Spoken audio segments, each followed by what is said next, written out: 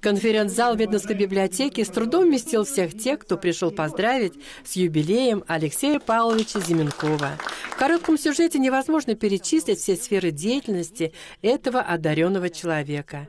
Помимо общественной деятельности в районе, в сфере литературы, он долгие годы трудился и трудится на литературной ниве Подмосковья. Вы в течение очень многих лет неизменно входите в состав – самых главных литературных комиссий. Вы являетесь экспертом очень-очень принципиальным.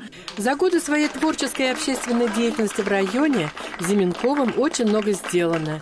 Им, как руководителем авторского коллектива, создана первая монография «Видновский край», учебное пособие «Ленинский район. Моя малая родина» и многое-многое другое. Я уверен, что у вас еще, несмотря на ваши молодые годы, впереди большая творческая работа, и вы еще не один труд, вот мы знаем, вы и в других работах, это не все здесь, конечно, далеко показано, где участвовал Алексей Павлович. В этот день поздравить юбиляра пришли друзья и коллеги, все те, кому Алексей Павлович помогал совершенствоваться в литературе. Посмотрите, сколько он написал книг. Я радуюсь, благодарю, что мне пришлось в своей жизни встретиться с таким большим, хорошим человеком. Спасибо. Алексей Павлович имеет множество наград и достижений. Одно из наивысших – первое место в национальном конкурсе «Книга года». В Видновском крае он обладатель знака отличия за заслуги перед Ленинским районом. Кроме краеведческой работы, он председатель этой организации. Зименков более 30 лет возглавляет литературное объединение имени Шкулева.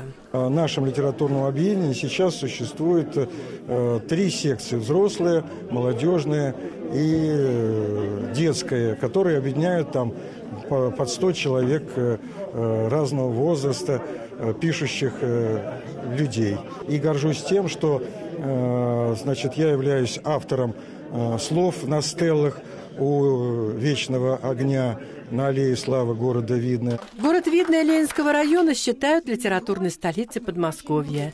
В этом большая заслуга и Алексея Павловича Зименкова.